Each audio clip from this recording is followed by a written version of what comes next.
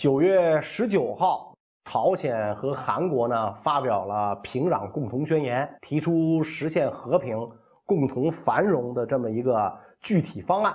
当时这个韩国青瓦台啊，就是总统府国民沟通首席秘书叫尹永灿，在这个记者会上表示说，朝鲜呢有意要拆除宁边核设施，由此呢，朝鲜无核化进入了一个实践阶段，并且呢，为朝韩两国互不侵犯提供制度保障。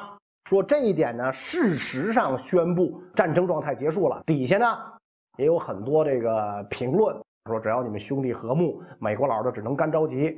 希望这个韩国呢能够驱逐美国驻军，半岛实现跟真正的和平，什么和平相处啊，共同繁荣啊，朝韩友谊长存呐，等等等等这些评论。作为这个旁观者来讲，我们当然希望这个和平是真的，但是呢，我还是奉劝大家。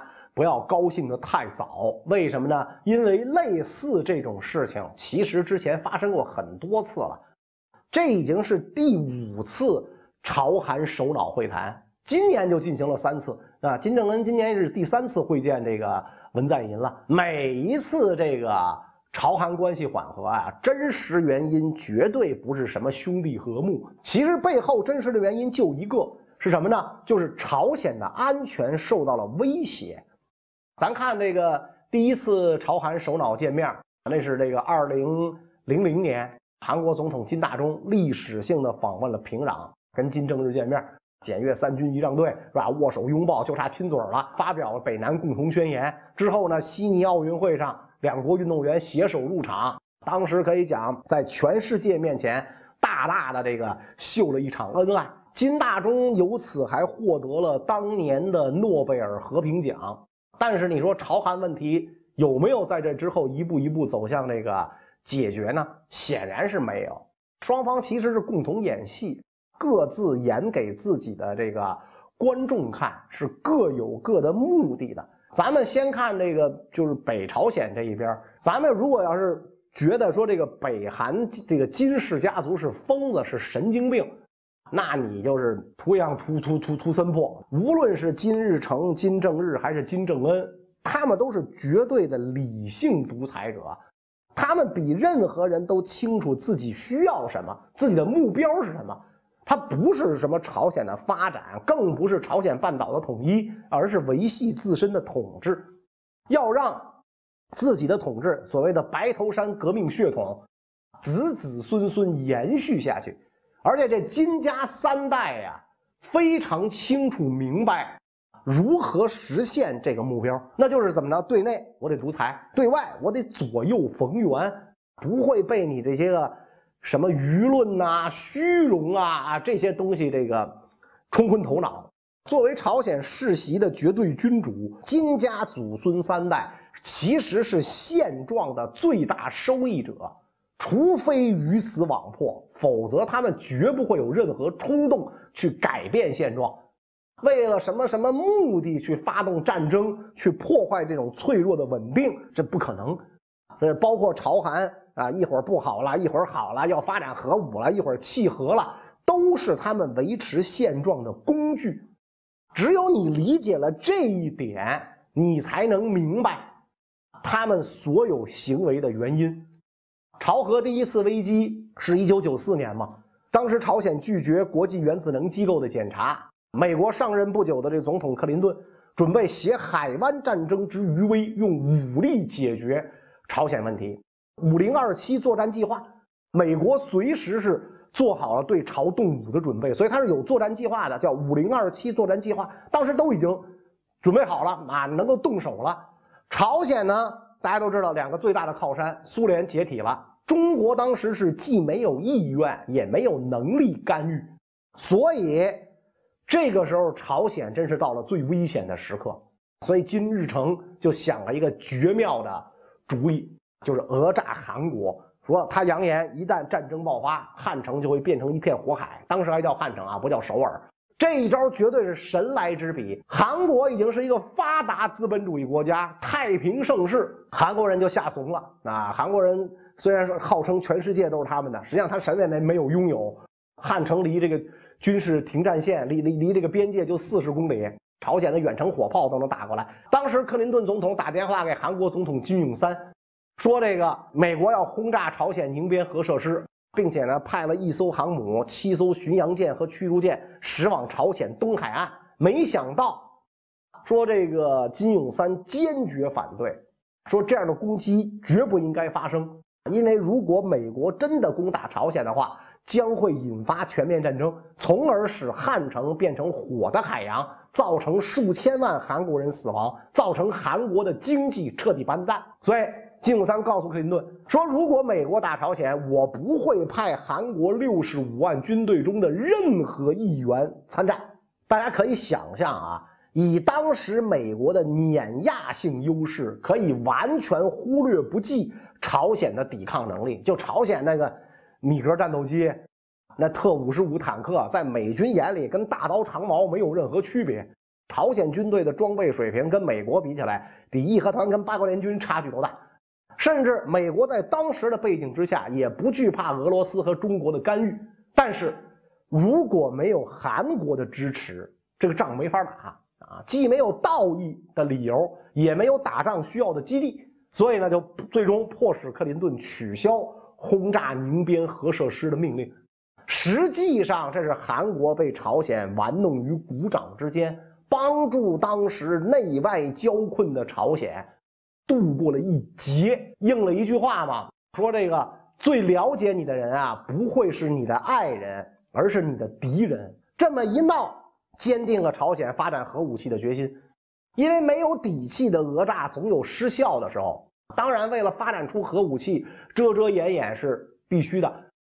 九七年以后，美国的卫星陆陆续续拍到朝鲜的核设施，危机再一次爆发。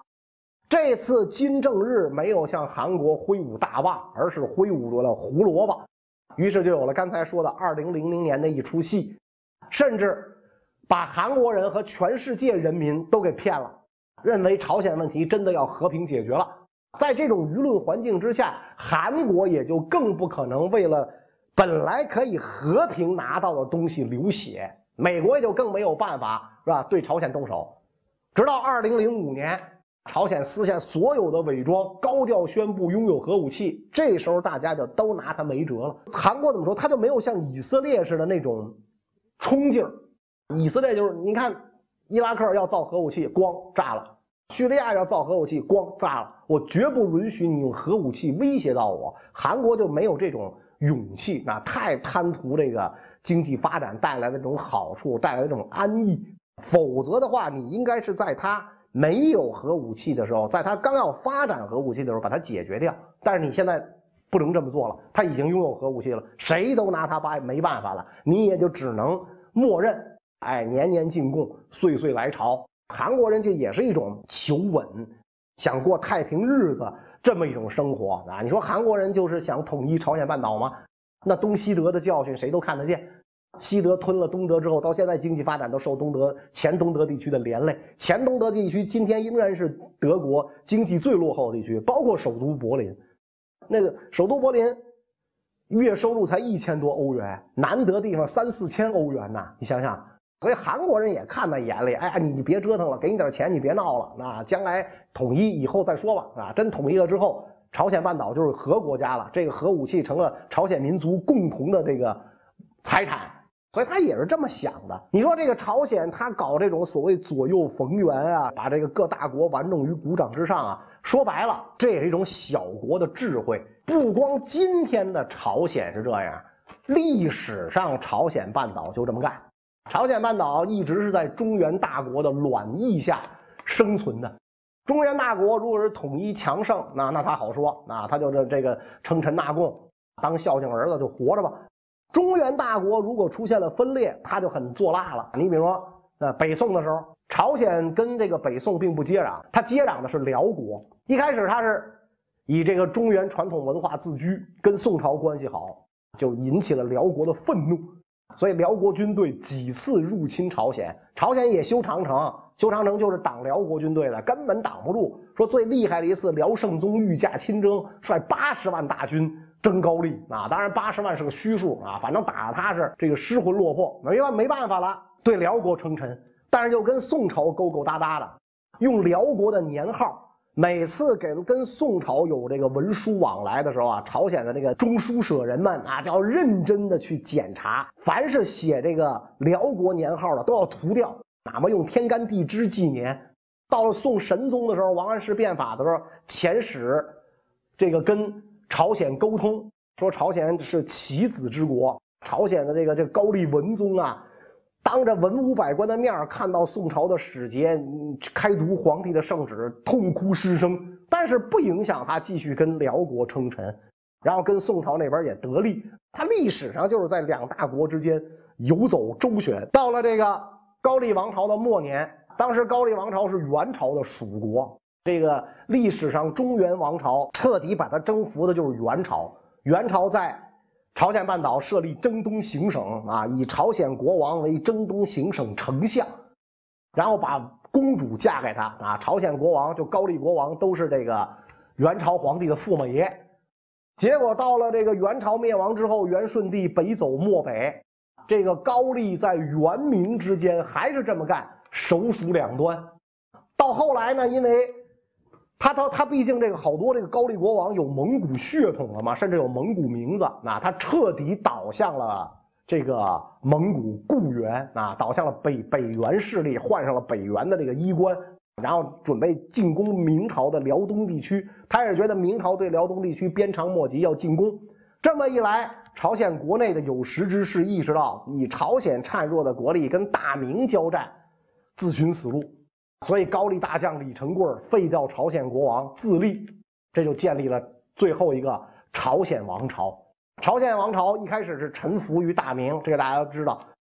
万历抗倭援朝，中国对朝鲜有再造之恩，大明对朝鲜有再造之恩。但是面对清军两次入境，他也归顺了这个清朝啊。乾隆以后，那更是对清朝服服帖帖的。可是随着时间到了近代。随着清王朝国力的衰退，日本势力的增强，朝鲜又在中日之间摇摆。所以，中国历史上为了朝鲜是不止一次的跟比自己强大的国家兵戎相见。这大家就知道，两次抗倭援朝，明朝一次，清朝一次，然后一次抗美援朝。所以，朝鲜实际上在各大国之间呢，这个周旋游走，玩的特别溜。但是。说句实在话啊，站在朝鲜的立场上看，他是大国夹缝中的小国，他不这么干，他就死翘翘了。呃，咱们可以举一个反例，有没有不这么干的国家？那就波兰，波兰就是这样，非常明显。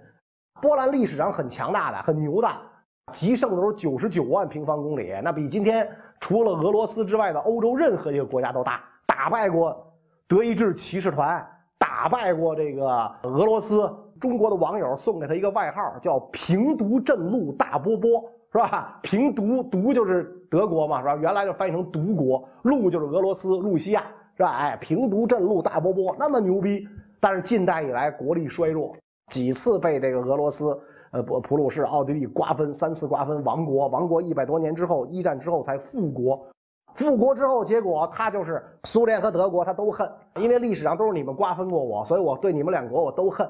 奉行的外交政策是什么呢？我距离柏林绝不能比距离莫斯科近哪怕一厘米。奉行这么一个外交政策，跟德国、俄罗斯他全闹掰了，指望着遥远的英法，那结果就知道，二战刚一爆发，一个月，苏德两国就瓜分了波兰，波兰再次亡国。所以，我们从历史啊看到现在，是吧？朝鲜的这个外交智慧啊，其实是挺强的，挺高超的。因此，今天金金家王朝的这种所作所为，咱们应该去理解，就是他这么干是为了什么？透过这些眼花缭乱的动作、实战时合的动作，看出他的本质来啊！他这么做的目的，对于巩固他的统治，可以讲是必须的。